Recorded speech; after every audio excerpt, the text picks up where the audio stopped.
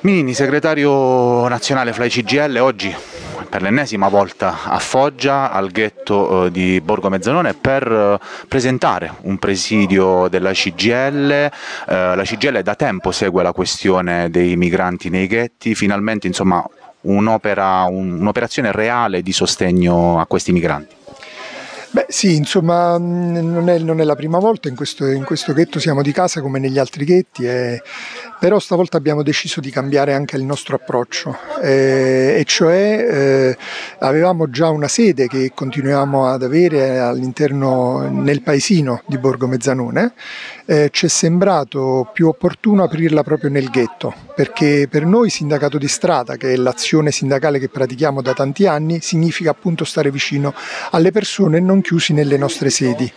Eh, quindi se, se, tradurre questa cosa per il ghetto di, di, eh, di Borgo Mezzanove significava eh, essere presenti qui in una baracca semi diciamo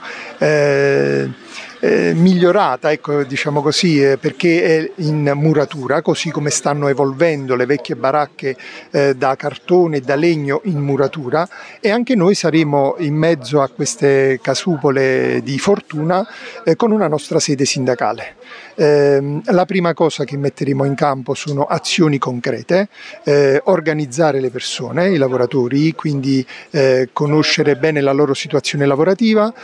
aiutarli in tutto tutto quello che fanno, per esempio fare dei corsi come si stanno svolgendo già in queste ore e nei prossimi giorni sempre di più che possono aiutarli a prendere la patente, eh, una patente che potrebbe essere utile, trasformata poi anche come trattoristi oppure eh, utile per, per, guidare automezzi eh, e poi tante altre iniziative, ma soprattutto ehm, il nostro venire qui in, questa, in questo ghetto in mezzo alle persone di cui hanno bisogno significa una denuncia forte per lo Stato Stato, per le istituzioni che sono latitanti, dopo tanti anni sono latitanti, eh, fanno finta di non vedere che esistono queste situazioni di vergogna per il nostro Paese eh, e mettono la polvere sotto al tappeto. Eh, sono venuti ministri che hanno fatto delle carrellate, delle sceneggiate annunciando le ruspe, ehm, noi non vogliamo le ruspe perché queste persone hanno diritto ad un'accoglienza